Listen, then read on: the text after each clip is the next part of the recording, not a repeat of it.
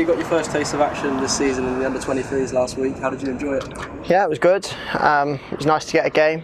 Um, I think it's a cup competition that we want to do well in. I mean, over the last few years, we seem to do really well in it. So, um, for it to, to be a, a, a, knockout for the first round to go into the group stages, it was important to win and important to get them games for the uh, the under 23s locked down this season. And like I say, it's, it's, a it's a big competition for us, which we've done well in over the years. So it's something that this year we're going to want to look to do well in again and is it exciting because you're coming up against some quite big names as well?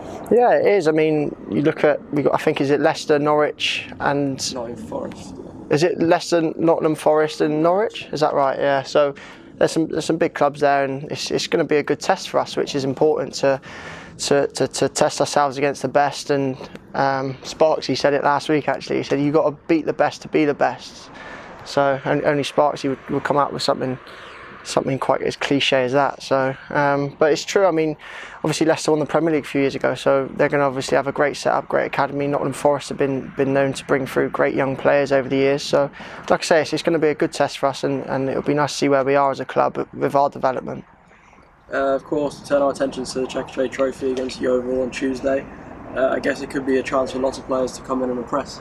Yeah, it's it's it's, um, it's, it's an opportunity. I mean, it is a first team game at the end of the day, and we've not had a win in three. Um, so it's important that we, we try and turn that around. And our next game to do that is obviously tomorrow against Yeovil. So it's, it's, it's obviously getting treated like a, a, an important first team game, and we want to want to stop the um, stop the the, um, the losses, if you like, and, and turn it around with a win and it is a trip to Huish Park, which in recent seasons has been a tough place to go for City.